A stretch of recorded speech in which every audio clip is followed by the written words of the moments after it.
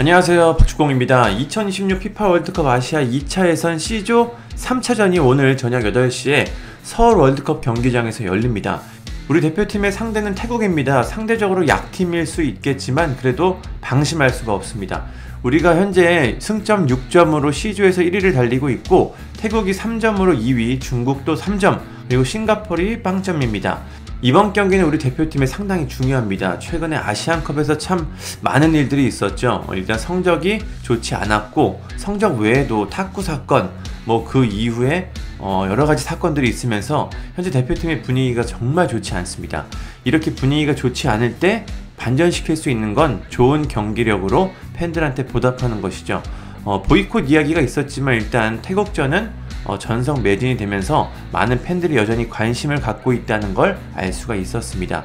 이번 경기에서 대표팀은 팬들의 기대에 부응할 수 있는 모습을 보여줘야 됩니다. 일단 이번 경기를 앞두고 소집된 선수들의 명단을 한번 보겠습니다. 일단 골키퍼에는 송범근, 이창근, 조현우, 수비수에는 권경원, 김문환, 김민재, 김영건, 김진수, 서령우, 이명재, 조유민입니다. 미드필더는 박진섭, 백승호, 손흥민, 엄원상, 이강인, 이재성, 정우영, 정호연, 홍현석, 황인범이고요. 공격수에는 조규성, 주민규 딱 두 명의 선수가 발탁이 됐습니다. 그리고 이번 경기를 이끌 감독은 황선홍 23세 이하 대표팀 감독입니다. 어, 이번 태국 2연전만 딱 맡게 됐는데요. 대표팀의 분위기가 그렇게 좋지 않은데 황선홍 감독의 어깨가 많이 무거울 것 같습니다. 황선홍 감독은 이번 두 경기에서 무조건 결과를 내야 합니다. 어, 팀의 분위기, 뭐 선수들 간의 조화, 뭐 화해 이런 것도 좋긴 한데 사실 황선홍 감독은 딱 두 경기만 맡고 그 이후에 정식 감독이 이 A 대표팀을 맡게 됩니다. 물론 황선홍 감독이 좋은 활약을 해서 A 대표팀 감독으로 뭐 승격할 가능성도 없진 않지만 현실적으로는 외국인 감독이 A 대표팀에 부임하지 않을까 싶습니다. 그럴 가능성이 가장 높겠죠. 결국 황선홍 감독은 이번 두 경기를 잘 마치고 23세 이하 팀을 이끌고 23세 아시안컵 3위 안에 결과를 낸 뒤에 파리 올림픽 본선에 가는 걸 목표로 해야 합니다. 4위로 가면은 아프리카 4위 팀과 플레이오프를 거치기 때문에 반드시 3위 안에 성적을 거둬야 합니다. 그럼 이번 태국전 선발 명단을 한번 예상해 보겠습니다. 골키퍼는 큰 이변이 없다면 조윤우 선수가 나올 것으로 보입니다. 나머지 선수들도 있긴 한데 일단 베스트 전력으로 나서는 게 중요해 보입니다. 포백은 김진수, 김영권, 김민재, 서령우 선수가 예상이 됩니다. 일단 이것도 최정의 멤버죠. 김영권 선수가 최근에 실수도 하고 폼이 그렇게 좋지 않아 보이긴 한데 그래도 김민재 선수와 호흡을 맞추기에는 가장 좋은 선수입니다. 그리고 김진수 선수가 왼쪽, 설영우 선수가 오른쪽에 나설 것으로 보입니다. 김문환 선수가 왔는데 어, 이 부분 오른쪽 경쟁도 앞으로 상당히 치열해질 것으로 보입니다. 황선홍 감독은 4-2-3-1 포메이션을 선호하기 때문에 중원에 두 명의 수비형 미드필더가 있습니다. 여기에는 백승호, 황인범 선수가 나올 것으로 예상이 됩니다. 백승호 선수가 오랜만에 대표팀에 왔는데 최근에 버밍엄에서도 좋은 모습을 보여주고 어, 대표팀까지 올라왔습니다. 다시 좋은 모습을 보여줘서 우리 대표팀이 이 자리가 상당히 어, 약한 자리거든요. 큰 정우영 선수가 물러난 뒤에 박용호 선수가 이 자리를 맡았지만 지난 아시안컵에서 상당히 불안한 모습을 보여줬습니다. 백승호 선수가 이 자리에서 좋은 모습을 보여줘야 우리 대표팀의 무게 중심이 흔들리지 않습니다. 백승호 선수의 어깨가 조금은 무거울 것 같습니다. 이선에는 손흥민, 이재성, 이강인 선수가 나올 것으로 보입니다.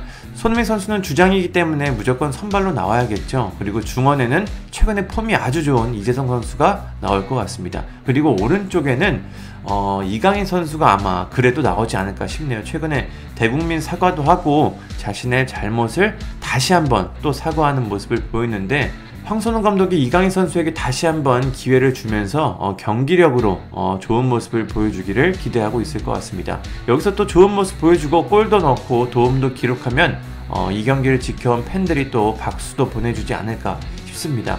사실 뭐 이렇게까지 대국민 사과를 해야 될 일이라고는 저도 생각하지 않는데 일단 뭐 상황이 이렇게 됐으니까 이강인 선수가 좋은 활약 하면서 또 다시 좋은 모습을 보여줬으면 좋겠습니다. 그리고 최전방에는 어, 주민규 선수가 나오지 않을까 저는 예상을 해봅니다. 조기성 선수가 있기는 한데 그래도 어, 최근에 폼이 더 좋은 주민규 선수가 선발 가능성이 조금은 있어 보입니다. 아무래도 홈팬들이 가득한 상황에서 33살의 늦가기 대표팀 선수가 환영을 받으면서 경기를 치르는 게 더 첫 경기는 좋겠죠. 원정 경기에서 어, 데뷔전을 치르면은 아마 대표팀도 처음이고 조금은 불안할 수 있기 때문에 팬들이 가득 찬 상암 월드컵 경기장에서 어, 주민규 선수가 박수를 받으면서 데뷔전을 치를 가능성이 꽤나 높아 보입니다. 어, 다시 한번 보면은 4-2-3-1 포메이션으로 최전방에 주민규, 이선의 손흥민, 이재성, 이강인, 중원의 백승호, 황인범, 포백은 김진수, 김현권, 김민재, 서령우, 골키퍼는 조윤우 선수가 예상이 됩니다. 제 개인적인 예상이기 때문에 분명히 틀린 부분이 있을 수 있습니다. 송민규, 김문환 선수 같은 최근에 폼이 좋은 선수들이 나올 수도 있기 때문에 어, 여기서 조금은 변동이 있을 것 같습니다. 그리고 우리 대표팀은 이번 경기에 새로운 유니폼을 입고 뜁니다. 나이키에서 최근 새 유니폼을 발표했는데요.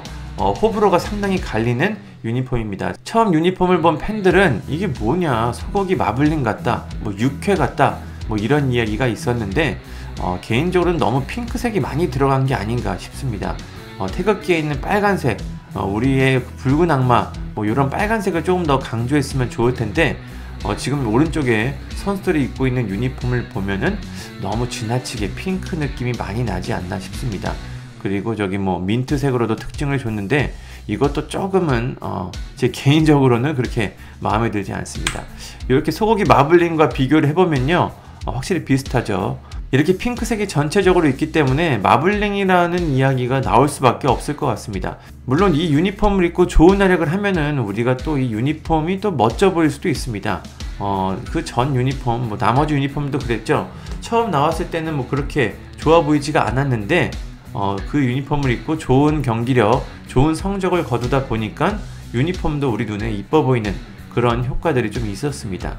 원정 유니폼도 보겠습니다. 어, 검은색 바탕에 이런 아주 예, 신기한 무늬가 있는데 어, 나전칠기를 좀 상징한 게 아닌가 싶은 느낌이 듭니다. 나전칠기가 이렇게 이쁜데 유니폼을 하니까 뭐 조금 애매하긴 합니다. 그래도 개인적으로는 홈 유니폼보다는 어, 원정 유니폼이 조금은 낫다. 저는 그렇게 생각합니다. 원정 유니폼은 사실 뭐 우리가 뭐 조금은 더 실험적으로 유니폼을 디자인할 수 있기 때문에 이 정도의 뭐 시도 모험은 괜찮다고 봅니다. 선수들이 입은 버전에서도 나쁘지 않은 모습이었기 때문에 이 정도도 뭐 괜찮은 것 같습니다.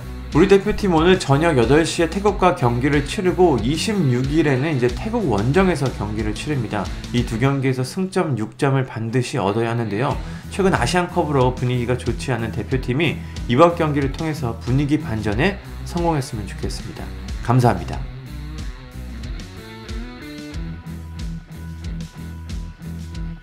구독과 좋아요는 저에게 큰 힘이 됩니다. 감사합니다.